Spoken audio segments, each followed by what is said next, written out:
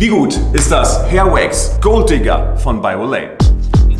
Starten wir wie immer mit der Verpackung. Die Verpackungen sind bei BioLane grundsätzlich eigentlich immer grundsolide. Vom Design her gefällt mir das auch und wir haben auch hilfreiche Informationen auf der Verpackung, aber die Verpackungen können einfach etwas wertiger sein. Machen wir weiter mit dem Geruch. Wir haben hier ein fast geruchsneutrales Produkt.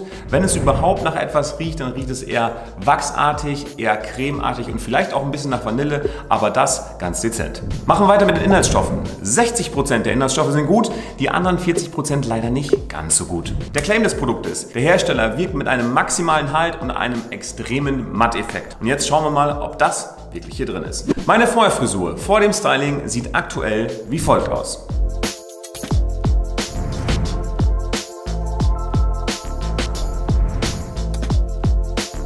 Weiter geht's mit dem Produkt und zwar mit der Konsistenz. Von der Konsistenz her haben wir hier ein Wachs, was eher so ein bisschen cremeartig ist. Heißt, ein Cremewachs trifft die Konsistenz, glaube ich, ganz gut. Die leicht cremige Konsistenz bei dem Haarwachs ist allerdings gleichzeitig auch etwas klebrig. Heißt, das Verreiben in die Hände funktioniert eigentlich ganz gut, aber man muss schon gut Gas geben und seine Hände schon gut aufwärmen, damit das Produkt dann auch wirklich rückstandslos in den Händen verteilt ist. Weiter geht's mit dem Styling. Ich habe meine Haare erstmal ein bisschen angefeuchtet mit Wasser und habe dann ein, zwei Drops Arganöl in meine Haare eingearbeitet. Und da meine Haare aktuell wirklich sehr kurz sind, habe ich jetzt an dieser Stelle einfach mal eine Rundbürste dazu genommen und einen Föhn und habe meine Haare dann auf mittlerer Stufe erstmal mit der Rundbürste in Richtung geföhnt. Dann habe ich das zuvor in den Händen verteilte Produkt ordentlich in meine Haare eingearbeitet und muss sagen, ich bin wirklich sehr schnell mit dem Produkt ans Ziel gekommen. Meine Nachherfrisur nach dem Styling sah dann wie folgt aus.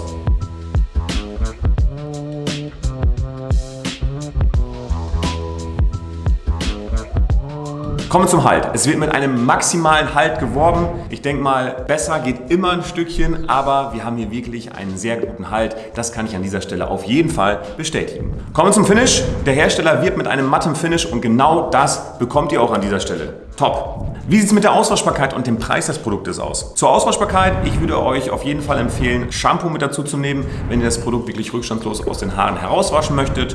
Und zum Preis, ihr bekommt für 22 Euro 65 Milliliter von dem Hairwax Gold Digger von By Willane, was an dieser Stelle auch ein absolut faires Preis-Leistungs-Verhältnis ist. Für wen ist das Produkt jetzt geeignet und kann ich persönlich das Produkt weiterempfehlen? Das Produkt ist auf jeden Fall für Leute geeignet, die wirklich auf so einen extremen Matteffekt stehen und gleichzeitig einen sehr guten Halt wünschen. Denn hier bekommt ihr tatsächlich beides. Ich würde das Produkt auch für fast alle Haartypen weiterempfehlen, außer für ganz feine Haare jetzt. Da gibt es sicherlich bessere Optionen. Und ungeachtet jetzt von den Inhaltsstoffen kann ich das Produkt auf jeden Fall, was die Performance-Punkte angeht, auf jeden Fall weiterempfehlen. Das Gold Digger Hair Wax von By Lane bekommt all in all 38,5 von möglichen 50 Punkten. Den Link zum Produkt findet ihr wie immer unten in der Infobox und jetzt wünsche ich euch ganz viel Spaß beim Haarestyle.